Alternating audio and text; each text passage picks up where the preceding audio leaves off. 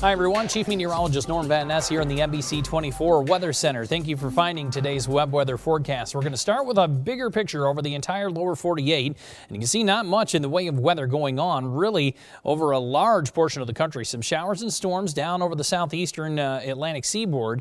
And as you look up over the northern tier of states, up over the Dakotas, some active showers and thunderstorms, kind of part of the monsoonal flow coming up through the four corners into parts of eastern Colorado and up into the northern plains.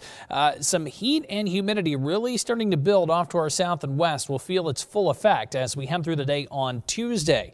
In fact, uh, on the radar and satellite picture, you can start to see the clouds kind of pushing in from the west. It's going to be the leading edge of uh, some of the slightly warmer air pushing into the area, and then a cold front's going to uh, cross and sweep through the area as we head through Tuesday night and into the day Wednesday. That's the one that's going to really start to cool us off. Temperatures this morning were in the upper 60s, and they did warm as we went through the afternoon up into the um, up into the upper 80s. It looks like a lot of us will be down in the lower 90s for highs heading into the day tomorrow with additional humidity. So for tonight, we'll call for partly cloudy skies. Our overnight low temperatures in the lower 60s.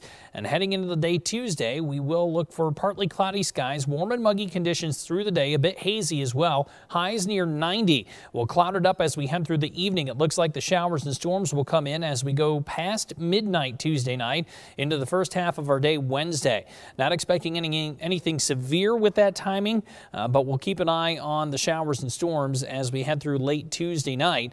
It does not look like a lot of rain, unfortunately, at this point. We'll continue to uh, massage the forecast. Maybe we can squeeze some more rain out of it for you here. Uh, some of the farmers and some of the lawns could really use a nice drink about this time. Mild conditions to end the work week. Better chances for rain and measurable rainfall, I think, as we head through Saturday night and into the day on Sunday. Maybe even some lingering showers into Monday of next week. So, uh, unfortunately, we need the rain, and uh, timing doesn't look like that good at this point for the following weekend. I'm Chief Meteorologist Norm Van Ness. Thanks again for finding today's web weather forecast.